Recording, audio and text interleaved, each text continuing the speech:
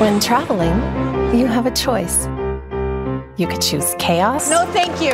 No, thank you. or ease. Hey, Mike. Hi, I'm Carlo. Very nice to meet you. You've come down this street like five times. You could choose feeling lost or feeling local.